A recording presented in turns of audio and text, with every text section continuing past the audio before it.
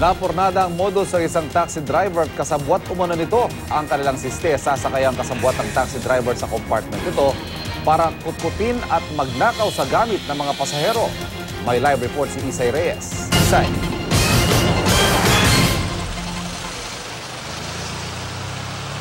Yes, Ivan, ako mga kapuso, paalala po natin na mag-ingat po tayo tuwing uh, sasakay ng taxi dahil tila meron na naman silang bagong modus ngayon.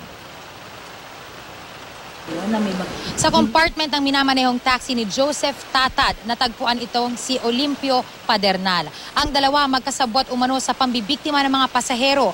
Magsasakay sana ng pasahero at inasistihan ng gwardya ng terminal ang pasahero para isakay sa compartment ang mga bagahe nito. Kaso nagulat sila dahil may nakasakay na pala dito. Depensa ng dalawa, magkaibigan daw sila.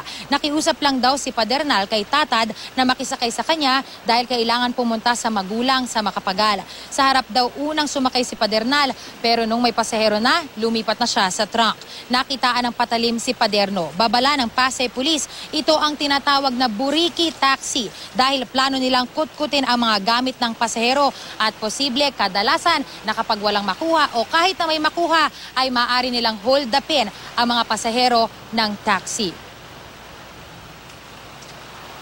At Ivan, ang i- para doon sa mga nabiktima o posibleng mga nabiktima nga nitong ah, dalawang suspect ay ah, maaari po silang magbigay alam dito nga sa Pasay Police sa numerong 8318070. Yang ating pinapakita na nasa aking likuran, yan mismo yung taxi unit nga nito nga si Tatad at dyan sa compartment na yan, nakita natin sa loob na maraming mga tali at dyan din nakatago yung patalim sa ilalim. Kaya ta, inaasahan nga ng mga pulis na ngayong araw ay makakuha sila ng ah, complainants ng sa gayon ay mas mapagtibay pa nga itong reklamo sa dalawang suspect dahil nung tinatanong natin Ivan kanina no, kung bakit at paano ba nakasakay nga dito sa compartment itong ah, si Paderno, si Tatad sinasabi niya ngayon na hindi daw niya alam kahit na una na nilang napag-usapan na isasakay nga si tatad sa o si Paderno sa compartment kapag may bago ng pasahero na dumating, ngayon ay sila'y biglang nagsisisihan. Ivan?